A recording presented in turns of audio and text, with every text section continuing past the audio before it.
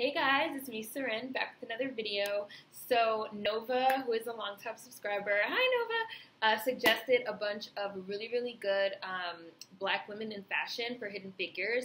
And today is the other Wednesday of the month, which makes today Hidden Figures Day. And I'm going to use one of your suggestions. I wrote them all down, Nova, because they were like all super, super, super dope.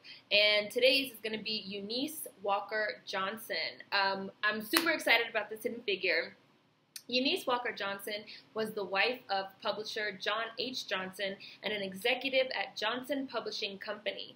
Johnson was best known as the founder and director of the Ebony Fashion Fair, which was started in the 1950s as a hospital fundraiser and became an annual fashion tour that highlighted fashion for African American women and ran until a year before her death. And she died in 2010. So it just recently, um, it started in the 1950s and it just recently kind of ended uh, in 2009. So, born Eunice Walker on April 4th, 1916, in Selma, Alabama, she graduated with a degree in sociology from Talladega College in 1938. During her matriculation at college, Eunice joined Delta Sigma Theta, and she met her future husband, John H. Johnson, in 1940 while she was attending Loyola University Chicago. She was married after earning her master's degree the following year.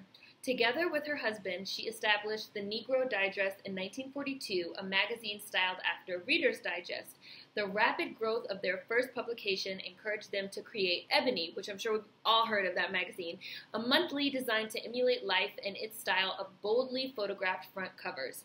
Johnson had been the one who suggested that the magazine be named for the dark wood, and by the time of her death, Ebony reached a readership of 1.25 million, while its weekly companion Jet reached a circulation of 900,000.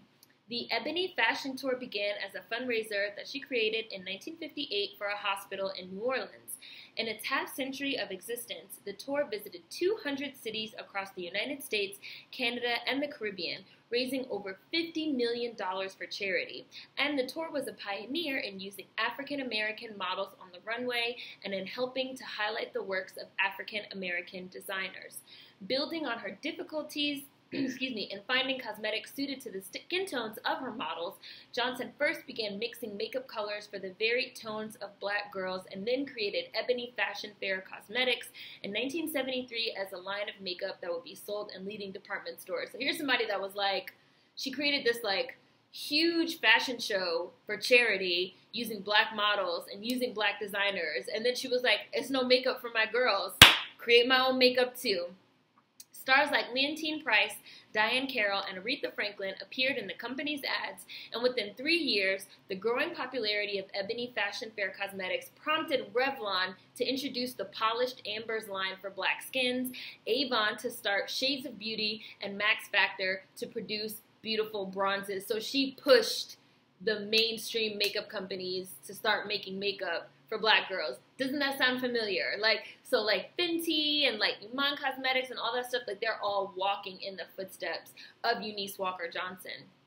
Uh, Eunice Johnson was also a mentor and a very good friend to Andre Leon Talley, the former editor at large for Vogue magazine, and he frequently traveled with her on the Ebony Fashion Tour.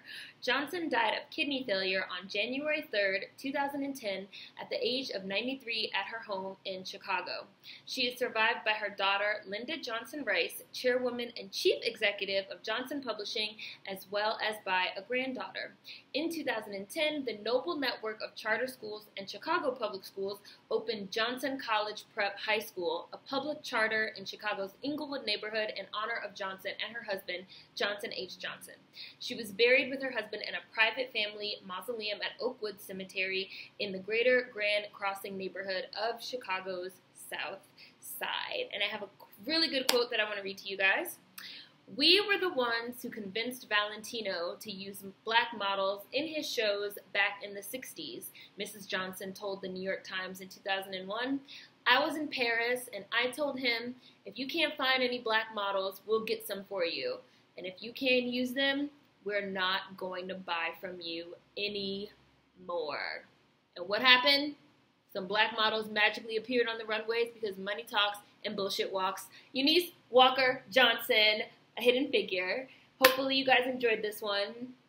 Nova suggested like six or seven women, so I'm probably to be doing those for a while because I love fashion. So I love learning more about uh, kind of unsung heroes, you know, black women in the fashion industry. So hopefully you guys enjoyed this one. Uh, see you guys next time. There's going to be really, really, really, really, really great, interesting links on this woman in the description box. So please make sure you check them out. And I will see you guys for the next Hidden Figures video. It is, again, the last Friday of the month, so there will be a Black Friday video coming in as well. Peace!